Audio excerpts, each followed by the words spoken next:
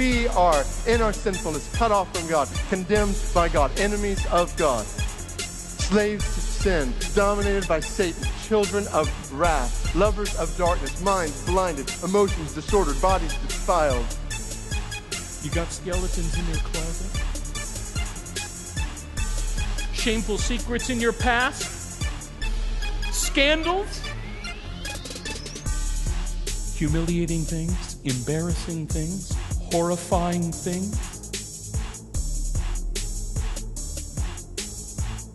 Stop running. Stop hiding. Stop pretending. Welcome to the people of God. Think of it that the God of the universe would look at your life and my life and say, I have absolutely no record of anything ever having gone wrong. God specializes in working in the compost of human sin to achieve his perfect and holy will. Because we're clothed in Christ, he says, I have record of everything having gone right in your life. That is a scandal.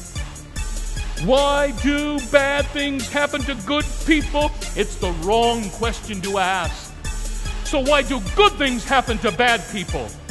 Because there is a God who is so utterly sovereign, he can use evil to achieve salvation through the only one who has ever been altogether good, Jesus Christ. Because this gospel is powerful enough to save. There is not a people group on the planet that is beyond the power of God to save. And a people who believe that cannot sit on this gospel. A people who believe that will lead churches and give lives to make this gospel known. To what extent is God truly sovereign? He is this sovereign. He uses the most flagrant expressions of human disobedience and deception to achieve our salvation. That's how sovereign He is.